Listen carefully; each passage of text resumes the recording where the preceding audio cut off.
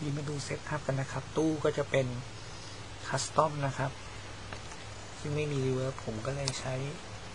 reverb นะครับเป็นของ b e l l i n g e r นะครับ มาก็เป็น boost นะครับ แล้วก็ใช้ clean boost แล้วก็เป็น overdrive อ่อนๆนะครับ ก็เป็นบีบูครับ ของกีตาร์ฝั่งทน ต่อมาก็เป็นแตก ที่จะ boost ไว้ตลอดเพื่อทำให้เสียงเด้งๆนะครับ จากตู้แอมป์ก็เป็น Bassman Boss นะครับ Boss Fender Bassman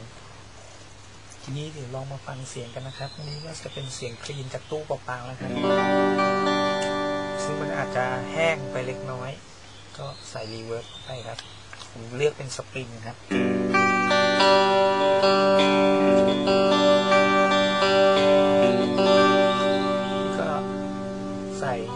Bassman เข้าไปนะครับนี่ครับนี่เสียง reverb ครับทำให้ทางเสียงมันไม่แห้งเกินไป Boss Bassman ใส่ไปก็จะเด้งขึ้นอื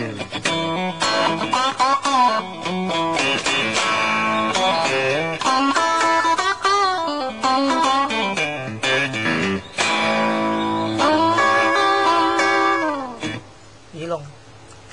เปล่านะครับ โดยที่ปิดเบสแมนนะครับน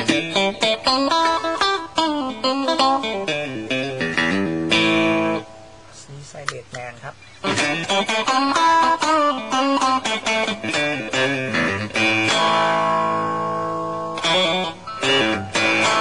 ย่านเบสมันก็จะเพิ่มขึ้นแล้วก็กลมขึ้นครับนี้เวลาโซโล่ก็อาจจะใช้ตัวนี้บูสต์เจ้าบีบูบูสต์นะครับก็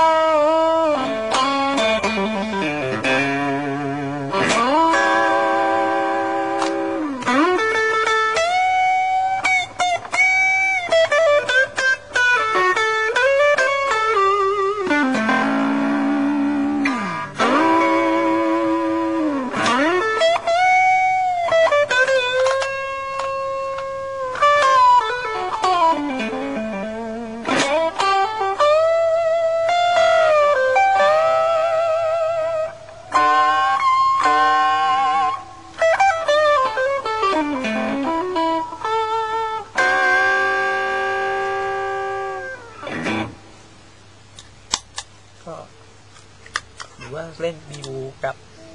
รีเวิร์บแล้วก็ใช้คลีนจากตู้นะครับ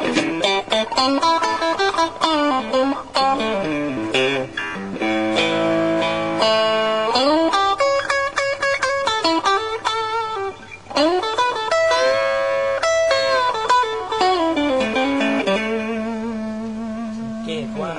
ย่านมันจะตองๆ แล้วก็เบสมันจะไม่แน่นแล้วก็เด้งเหมือน ถ้าเราใส่เบสแมนนะครับ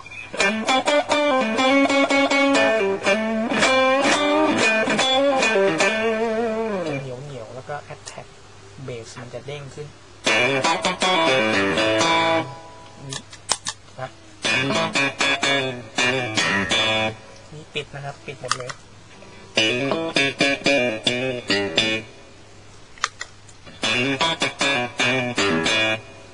มันก็รู้สึกจะมนมนๆขึ้นแล้วก็อ้วนขึ้นนิดนึงก็เด้งแอตแทกมันจะเด้งขึ้นมากสนุกกว่าที่จะเล่นเปล่าๆนะครับ เกมผมไม่ได้เปิดสุดครับก็เปิดไว้แค่บ่ายสองอันนี้ก็ไว้ใช้บลูทเท่านั้นเอง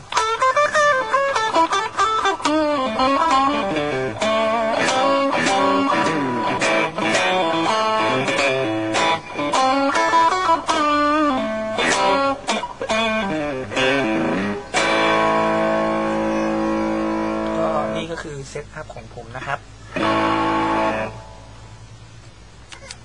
ฟังเจ้าบีบูเดียวๆบ้างครับ